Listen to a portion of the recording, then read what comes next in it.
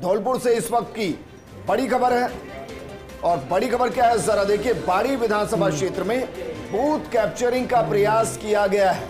अति संवेदनशील इलाका है। मौके पर जमकर फायरिंग हुई है और पथराव हुआ है ऐसी सूचना है। मतदान की ड्यूटी में लगे कर्मियों से मारपीट की गई है। इस दौरान एक बालिका गंभीर रूप से घायल हो गई है। कलेक्टर अनिल अग्रवाल और एसपी मनोज कुमार मौके पर पहुँचे हैं। और ये एक अलग तरीके। विजेंद्र विजेंद्र बाड़ी का पूरा चुनावी इतिहास इसी तरह का रहा है। जसवंत गुजर यहाँ बीएसपी से उम्मीदवार है और कांग्रेस बीजेपी से गिराज मलिंगा है। और दोनों पुराने आपस में प्रतिद्वंदी है। दोनों के बीच में इस तरह की घटनाएँ मोटे तौर पर मैंने बाड़ी को लेकर नोटिस किया। यह अति संवेदनशील चुनावी क्षेत्र है और आपको ध्यान ही होगा एक बड़ा बेल्ट दस्यू बेल्ट कहा जाता है जो। चंबल से सटा हुआ है जहाँ पर एक ज़माने में तो डकैत कहते थे वो डाकू ये इधर से आते थे चंबल से। तो बाड़ी अपने आप में गोलीबारी और इस तरह की घटनाएँ हर चुनाव में होती है। लेकिन सवाल ये कि बूथ कैप्चरिंग की जा रही है फायरिंग की जा रही है पथराव किए जा रहे हैं अगर यहाँ इतनी ज़्यादा घटनाएँ होती आई हैं और यहाँ मैं मानकर चल रहा हूँ पिछले चुनाव के मुकाबले सुरक्षा मज़बूत की गई होगी फिर भी बंदूकें पहुँच रही लेकिन यहाँ बंदूकें हैं। यहाँ बंदूकें हैं लोगों के पास। सरेंडर कर दी होती सरेंडर नहीं कर पाए वो बंदूकें छुपा ली गई है। और यही कारण है फायरिंग की नौबत आई। है क्या बंदूकें हैं हथियार उन लोगों के पास ये है? तस्वीर आपको दिखा रहे हैं तस्वीरें जरा देखिए किस तरीके से पुलिस घेर कर कुछ लोगों को बैठी हुई है। हम मानकर चल रहे हैं यही वो लोग होंगे जिन्होंने उपद्रव फैलाने की कोशिश की होगी जिन्होंने शांति भंग करने की कोशिश की होगी जिन्होंने पथराव किया होगा जिन्होंने फायरिंग की होगी जिन्होंने बूथ कैप्चरिंग करने की कोशिश की होगी।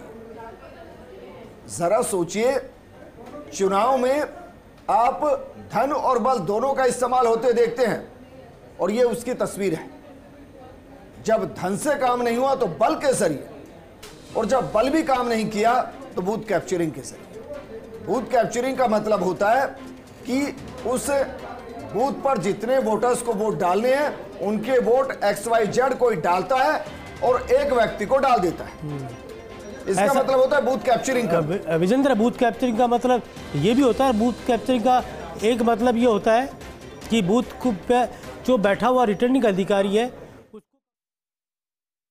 ऐसी मुझे सूचना मिली कि यहाँ पर बाहर के गाँवों से आकर के धीमरी निरारा बटेश और अन्य गाँवों के गुजरों ने आकर के बूथ कैप्चर करने की कोशिश की तो मैं वहाँ से सकर्रा से गाड़ी लेकर के सीधा यहाँ आया। तो गाड़ी तोड़ दी मेरा ड्राइवर और मेरा कैमरा मैन के फ़ोन छुड़ा ले गए कैमरा छुड़ा ले गए। और गाँव में कम से कम एक घंटे तक घुसने नहीं दिया गया है। बहुत भयंकर मतलब पथराव किया है और फायरिंग किया है। पुलिस प्रशासन जब एडिशनल एसपी साहब आए तब भागे हैं और उनको आँसू गैस के गोले छोड़ने पड़े, तब जाकर के भागे। और विनोद जुड़ गए हमारे सहयोगी विनोद वहाँ से जुड़ गए। विनोद, जरा बताइए कौन से बूथ की घटना है ये बूथ कौन से इलाके में आते हैं? किन्होंने बूथ कैप्चरिंग करने की कोशिश की और पुलिस ने कितनों को अभी तक हिरासत में लिया है? देखिए पूरे मामले की बात करें तो जिस प्रकार धौलपुर के अंदर जो चार विधानसभा सीटें हैं, उनमें से उनमें से बाड़ी विधानसभा जो सबसे हॉट सीट मानी जा रही थी, जहाँ जहाँ बसपा की और बीजेपी की कड़ी कड़ी टक्कर मानी जा रही है। वहीं आज बताया जा रहा है कि बाड़ी विधानसभा क्षेत्र के खुलेकपड़ा गाँव में जो मतदान था, मतदान के दौरान कई करीब बताया जा रहा है, सैकड़ों की संख्या में लोग इकट्ठा होकर आए थे, जिन्होंने पहले पथराव किया मतदान केंद्र के अंदर जिसके बाद अफरा तफरी मची, वही सूचना पुलिस को दी गई, लेकिन उसके बाद, चूँकि संख्या में काफ़ी ज़्यादा बताए जा रहे हैं जो उपद्रवी थे, इसके बाद जो एफएस बंद थे हरिओम सिंह, उनकी गाड़ी को भी क्योंकि उनकी गाड़ी में एक कैमरामैन बैठा हुआ था, जिसने की कैमरा में कैद करने का प्रयास किया तो उनकी गाड़ी को भी फोड़ दिया गया। इसके अलावा उन पर भी पथराव किया, जिसमें वो भी घायल हुए हैं। वही सूचना के बाद जिला कलेक्टर अनिल अग्रवाल, इसके अलावा एसपी पुलिस मनोज कुमार के भारी पुलिस जाब्ता मौके पर तैनात है। फ़िलहाल उपद्रवी खदेड़ने के लिए पुलिस को आँसू गैस गोले भी छोड़ने पड़े, वहीं फायरिंग भी हुई है। फ़िलहाल स्थिति कंट्रोल में, लेकिन पूरा जो गाँव है, खुले का पड़ा इस समय छावनी में तब्दील हुआ है। जी।